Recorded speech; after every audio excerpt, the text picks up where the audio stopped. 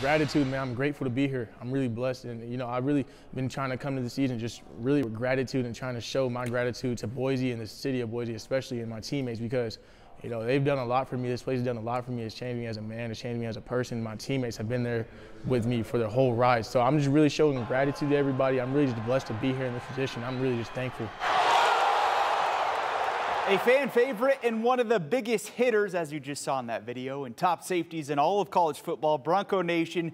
Enjoy JL Skinner while you can. JL very well could have left early for the NFL after last season, leading the Broncos with 92 tackles while adding seven tackles for loss and two interceptions. Instead, the 6'4", 200-pound enforcer chose to return to Boise for his senior season, focused on taking his game to the next level and improving his NFL stock in the process. JL saying today he could care less about accolades, honors, and big hits. He's focused on one thing and one thing only.